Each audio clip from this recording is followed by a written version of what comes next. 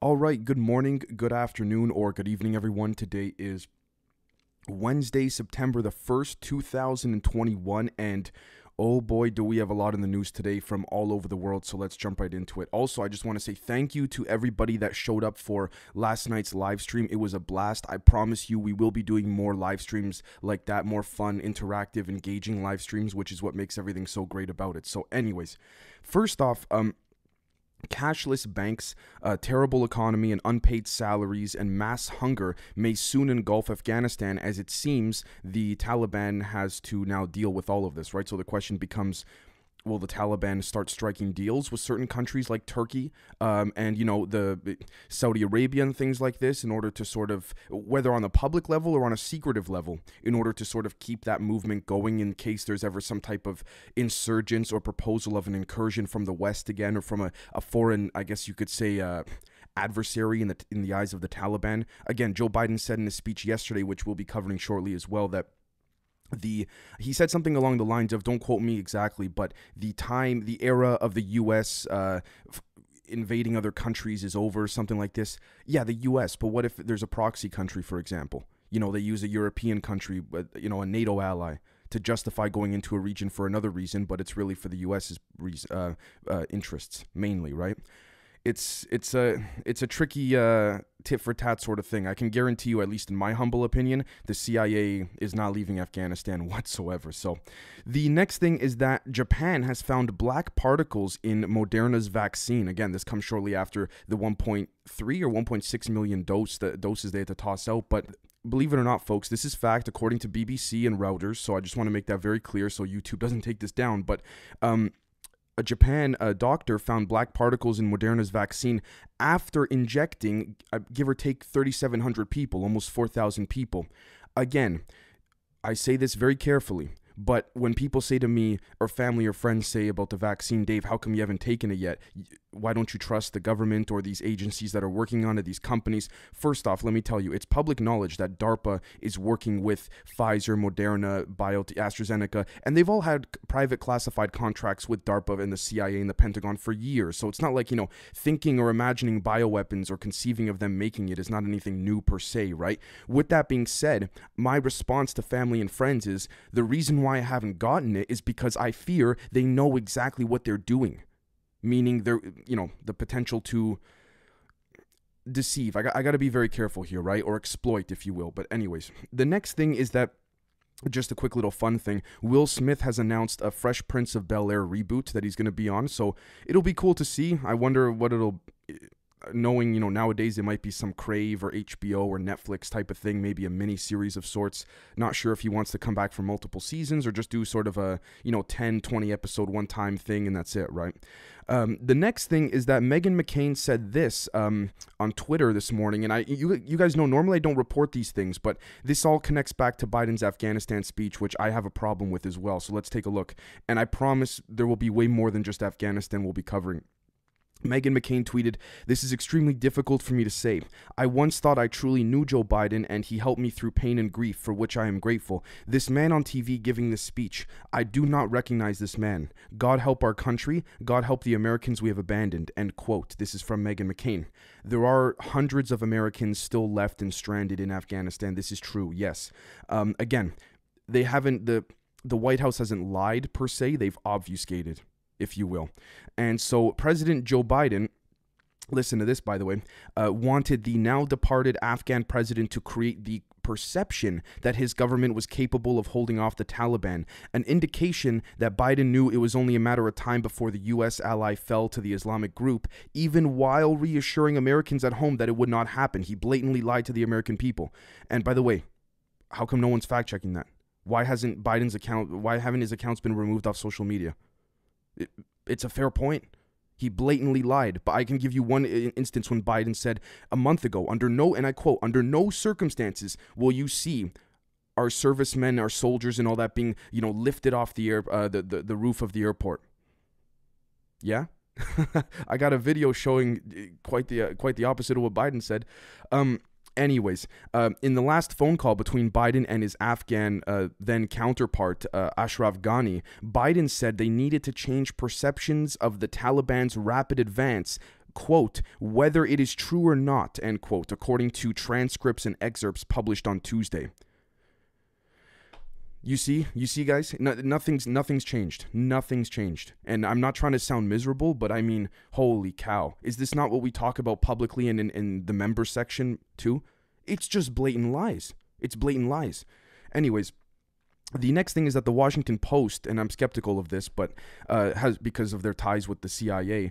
Uh, the Washington Post reported that Representative uh, Markwayne Mullin has gone rogue to travel to Taliban-controlled Afghanistan on a rescue mission in the face of multiple warnings not to do so from the Pentagon and State Department, and nobody knows where he is right now. He took the he took the risk. I mean, respectfully, if he wanted to go, he made it vocal. He wanted to go. He went. Simple. He took the risk. He knew the consequences. I know I'm not saying we should just let him, you know, do his own thing, but again, it's not like oh he he suddenly disappeared or he was kidnapped. We we knew his intentions, so um, the next thing is that a pharmacist, uh, excuse me, saw several black particles in the vial of the vaccine. This was the Japan thing, sorry. Um, now, the next thing is that Lebanon is enjoying lots of solar boom times, as they call it, since their fossil fuels have run dry. Uh, some of them, uh, some homes have been limited, and people have been limited to, I believe, one to two hours a day worth of uh, power and electricity and they're using solar powers to combat it now, right? And again, this is something that will not really be covered by the mainstream media too much, if you ask me, because the science shows, you know, arguably we could power a vast majority of not just the West, but the planet with a very small geographical, uh, you know, set of solar panels. Um, in terms of uh, diameter, distance, kilometers, a radius of putting it in a field somewhere. So, I mean, yeah, it's not going to be mentioned much, but you know, there's there seems to be a way in which big oil is allowing the solar market to sort of insert itself in, in a certain way. But anyways, um, let's take a look at this right here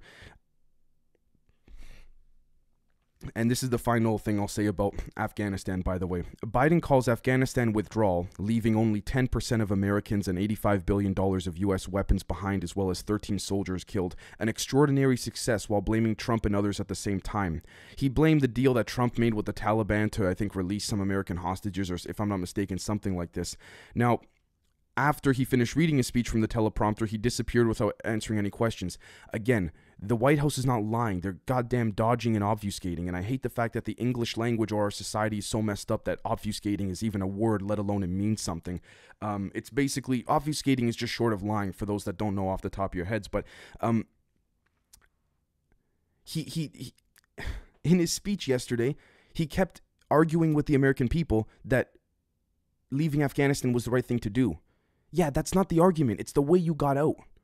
You idiot. Please forgive me. I normally don't say this. You guys know that. But I can't believe this is happening and no one's calling the White House out on it. I can't believe that. Every speech Biden makes is worded. Okay, fine. They all are. But then he talks about if we stayed, it would have been bad. So we had to leave and it was a great success. A lot of people will agree. It's not about whether to stay or leave, it's the way that you left. Like, uh, for crying out loud. Uh, how do people not see through? How do some? How do a lot of people still not see through this crap? You know. So, anyways, the next thing is that building materials have been allowed into Gaza to help the buildings that uh, to help, I guess, rebuild or start afresh the buildings that Israel um, demolished and bombed back in uh, May, if I'm not mistaken. So, I mean, look, it just goes to show that secretly, in my humble opinion, uh, again, this may be a little conspiratorial, but maybe it might not be. Israel controls the Gaza Strip um, maybe unofficially from an intelligence perspective, but it's that control is still is, is still there. Also, there are other regions in the area with control too. I'm sure the CIA's in there, and you name it, right? But the next thing is that the U.S. Supreme Court has allowed a six-week abortion ban um, in uh, in Texas it's the big debate again, right? It doesn't surprise me that this happened in Texas simply because of the South. Obviously, things are a little bit different with people's perspectives there, and I respect that. I understand that certain things are controversial. It's not for me to say which, you know, pro-abortion, anti-abortion, uh, pro-life, things like that, right? Uh, pro-choice. So it really is a very strong debate, and I'm not going to touch it because I myself, truthfully, I don't know where I stand on it either. So the next thing is that two of the FDA's senior vaccine leaders are exiting from their position, uh, raising fresh questions about why the Biden administration and um, and the way that it's sidelined. Uh, uh, sorry, raising questions about the Biden administration and the way it sidelined the FDA. Excuse me.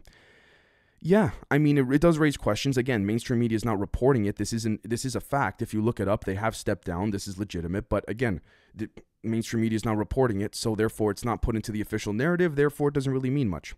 The next thing is that certain immune cells from prior infections with common cold coronaviruses boost the immune, res- immune response against COVID 19. A new study led by Charité Medical University Berlin and the Max Planck Institute for Molecular Genetics concludes. Yeah. So, and then someone, this is an opinion more so from someone, but they raise a good point, so I'll read it. So we, they, this person says, so we killed the common cold by locking everything down and wearing masks, losing potential cross immunity and clearing the way for COVID? Question mark. It's a fair point. Again, I'm not a scientist, so I, I don't want to sit here and debate and talk like, uh, act like I know what I'm talking about, but it's a fair point. Um, the next thing is that, uh, again, Israel, one of the most vaccinated countries in the world, registered close to 11,000 COVID cases on Monday, the health ministry reported today, marking a new record since the start of the pandemic. It now leads the world in the seven day rolling average of new daily COVID cases per capita, overtaking Montenegro and Georgia, according to the Oxford University uh, data. yeah. Um, I mean, again, the, I'm not going to give my opinion on this because it's pretty self explanatory at this point. The next thing is that Facebook already uh, reduced the uh, sorry, Facebook will adjust its algorithm again to reduce the visibility of political posts, according to a report in Axios, a move that will hurt the top performing political pages on the platform, most of which are conservative. Now, let's take a couple different angles and view and perspectives on this. Yes, first off, technically speaking, could Facebook, do they have the right to do this? They're a private company, they could do what they want. Yes, absolutely. Now, from more of a logical intellectual perspective or intelligence perspective rather we can clearly see what's happening here, right? Obviously, a big tech is catering more to the liberal democratic side of things. There's no shortage of evidence of that by any stretch of the metric. So it's not like I need to, you know, give examples. I think many of you know already ahead of time the the cases that we've seen here, right? So, um, especially over the past, I'd say three to four years more more specifically if we were to uh, narrow it down but again i believe breitbart is the breitbart.com is the most circulated conservative uh, outlet on Facebook, so they're definitely going to take a hit if um, when this algorithm gets adjusted. Um, the next thing is that relations between Turkey and Armenia are rumored to be easing. I mean, look, that's good. That's good. Um, it's it's hard to say what what Erdogan, uh, Prime Minister of Turkey, has in mind. He he's always, I mean, as they all are, up to something with different interests. But I see, in my humble opinion, I think he sees sort of. Uh, a tit for tat chess game that he could sort of start afresh and start anew on this metaphorical chessboard now that the U.S. is out, out of Afghanistan. So you might you know you might be saying, Dave, what does that have to do with Armenia? Well, now now that there's so much that Erdogan can sort of work with, if you will. He, there's a lot of different things he can put into place. It doesn't countries don't necessarily need to be geographically close and things like that, but uh, not to say that's not the case with Armenia, but you know what I mean. Uh, the next thing is that organic. Uh, there's an organic food revolution in Sri Lanka, uh, but the problem is is that it's threatening its tea industry. I mean, look, th- this is the thing about society. You got to adapt when things change. Um, I mean, that might be an oversimplification because those words could be used against me over some arguments I've made in the past. So I want to be careful saying that uh, to be fair with myself too and consistent. But I, I you know, th- this is the way I, I hate to ex- dumb it down in this sense, but shit happens and we got to adapt in certain cases, especially economically. Um, the next thing is that Qatar warns that isolating the Taliban could lead to more instability. Um, I mean, look, ultimately, at the end of the day, the I, I it's a mess. It's it's a mess. It's all I don't know what to make of this honestly. Let's let the intel let's let the CIA guy screw this up even more. Um, the next thing is that Hong Kong activists and former legislators have been jailed over a 2019 protest. Um, yeah, I mean, again, the CCP, Xi Jinping, he's cracking down. Very simple. Um, which takes me to my next point, which is that China's education ministry has incorporated what's called a quote Xi Jinping thought, in, end quote, into theirs. Again, indoctrinating with the, uh, the, the young people of, of China with a certain mindset, you name it. Now, again, I want to make this very clear. I got nothing against the people of China. The Chinese people are some of the greatest people you'll you probably ever meet. I'm talking about the regime, the CCP.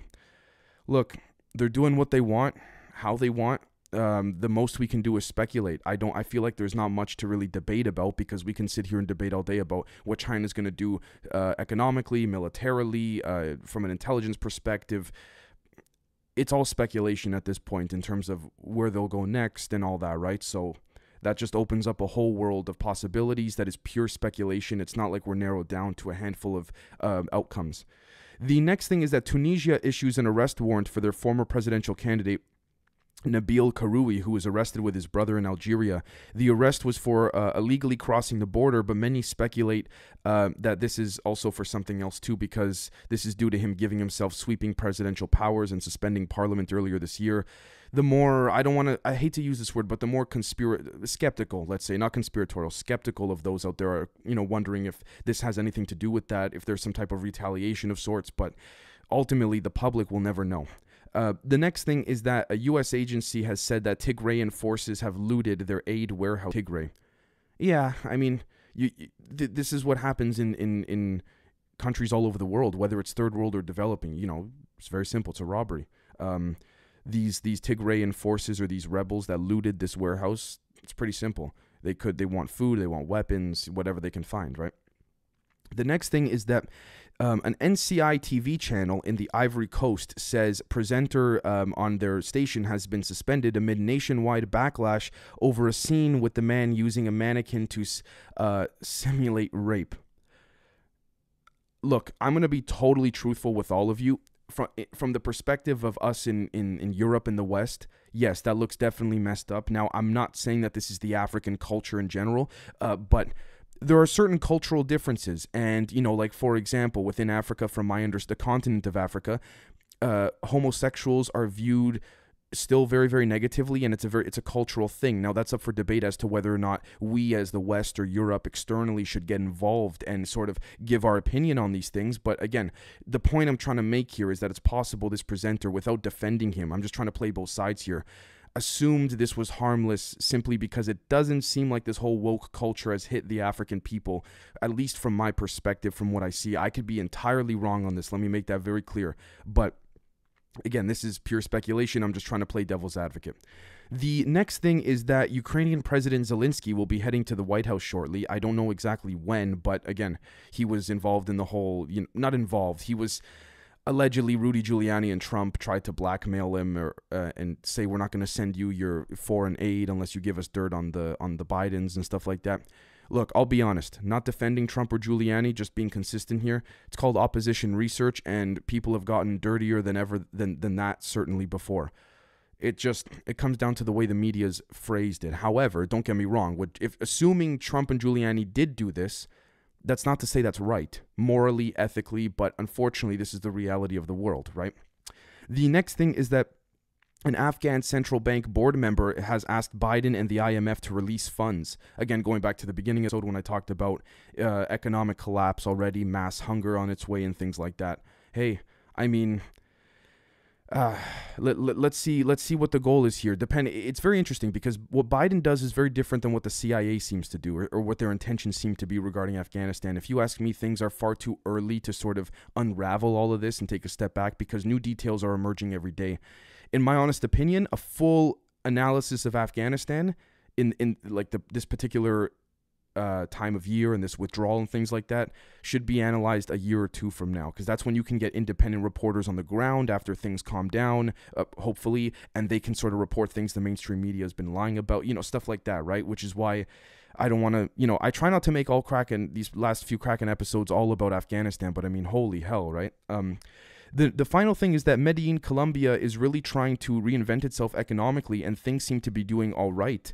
Um, all things considered, considering it was you know the hub of uh, the uh, Pablo Escobar's Colombian cartel.